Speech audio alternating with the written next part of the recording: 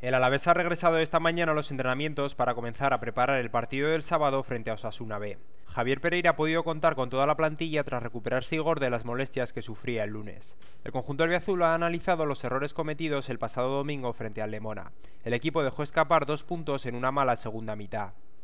Lo que está claro es que lo del otro día no se puede repetir. La segunda parte no fue buena, todos lo sabemos, y hay que corregir esos errores, intentar yo creo que pudimos matar el partido un poco antes con, buscando un tercer gol y, bueno, pues a partir de ahí corregir esos errores y dentro de los malos, eh, a pesar de haber empatado, estamos ahí arriba, tenemos cuatro puntos y, y la cosa tampoco está tan mal como se pinta. En el apartado positivo, el Alavés está encontrando puerta con facilidad en este inicio de liga. En el lado negativo, el equipo tiene problemas para dejar su portería a cero. No, bueno, lo que, lo que comentábamos, ¿no? un poco de equilibrio entre entre el juego, ataque y defensa y, corregir esos pequeños errores que van surgiendo, pero que es normal.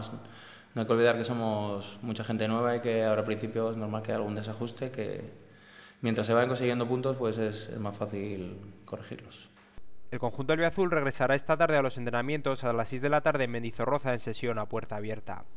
Por otro lado, el Alavés y la Caja Vital han llegado a un acuerdo de colaboración para patrocinar la escuela de fútbol base albiazul. Los niños y niñas interesados de entre 6 y 12 años pueden apuntarse desde hoy en las oficinas del club. La escuela comenzará en octubre y finalizará en mayo. Al final de la temporada, el Alavés realizará una selección entre todos los participantes para acceder a las categorías inferiores del club.